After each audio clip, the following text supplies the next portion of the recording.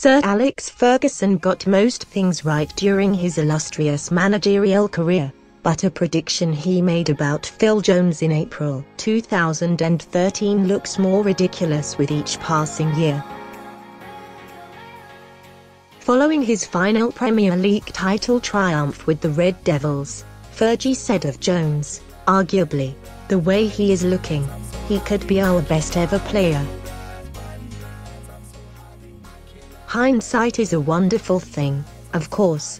But fast forward almost six years and that comment now looks utterly baffling.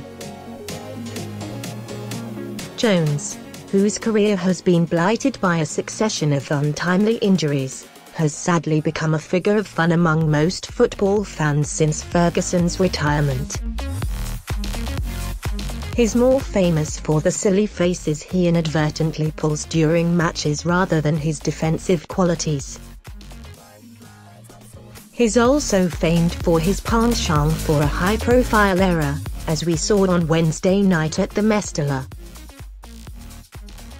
Jones put Valencia 2-0 up with a comical own goal past Sergio Romero. After the match, which United lost 2-1. One fan uploaded a funny compilation video of Jones's best own goals for the Red Devils. It's pure gold, and you can watch it here. United fans are so impressed that they reckon Jose Mourinho should stick him up front. In fairness, old Jonesy would probably be more of a threat than Romelu Lukaku at the moment.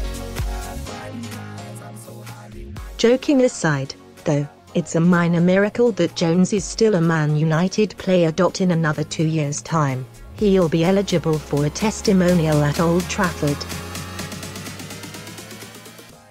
Although he's won a Premier League winners' medal for United, it could be argued that he's not good enough to be playing for one of the world's biggest football clubs.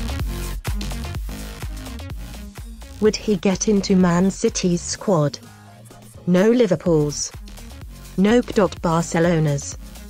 Don't be silly.